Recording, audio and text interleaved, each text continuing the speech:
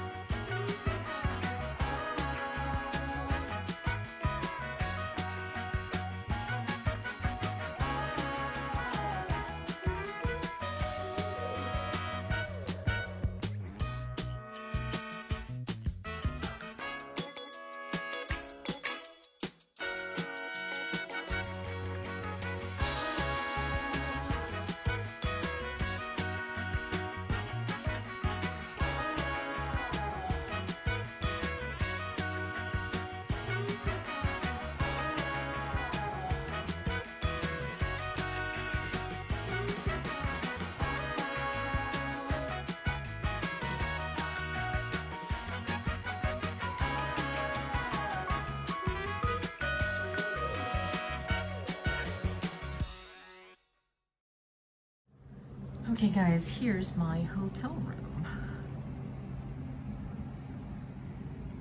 All my junk laid out.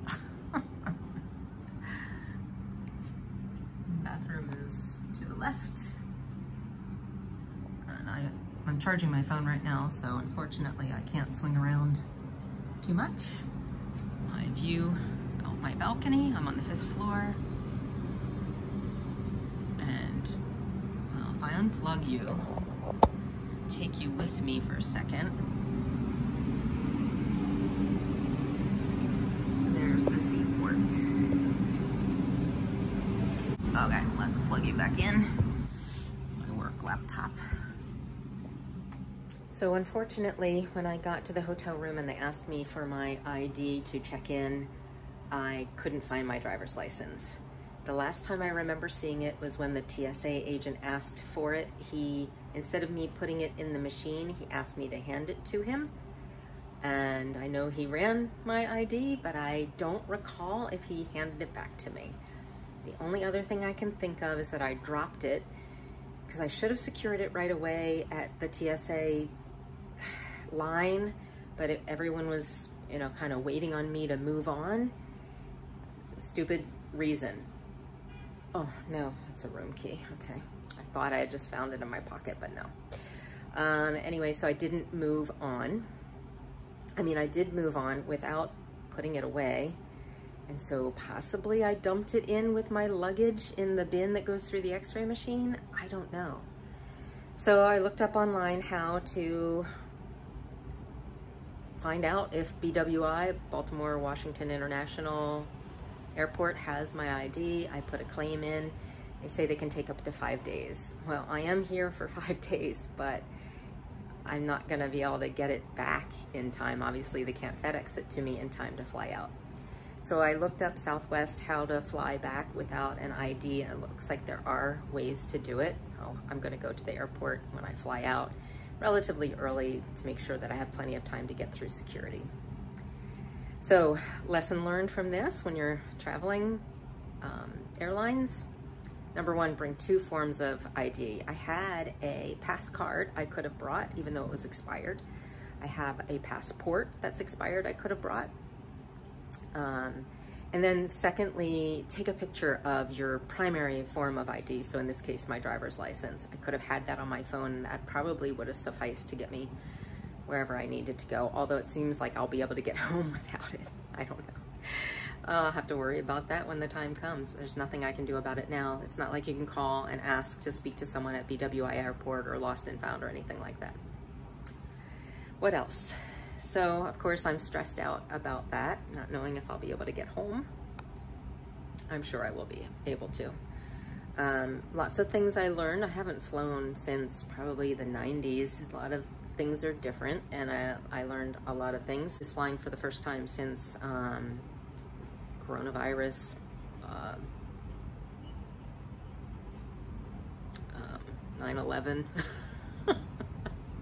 All right, I'm stressed. I'm going to relax now.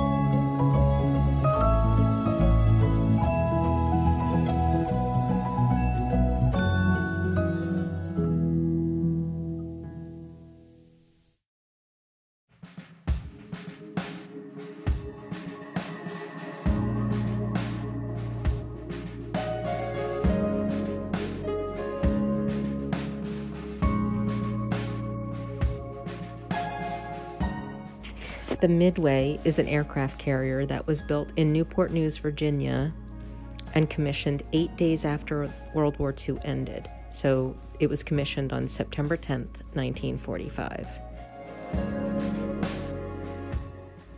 The Midway is 1,001 feet long, 121 feet wide, can go 35 miles per hour, and can house 4,104 men.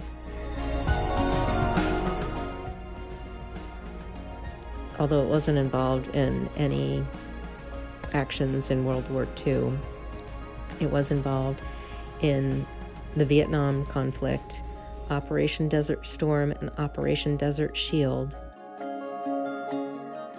It sailed in many places, including the Mediterranean, Western Pacific, South Africa, the South China Sea, the Indian Ocean, the Arabian Sea, and the Persian Gulf during the Iranian hostage crisis. The Midway served for 47 years and was decommissioned on April 11, 1992, where she made several voyages to eventually settle in San Diego and become a museum.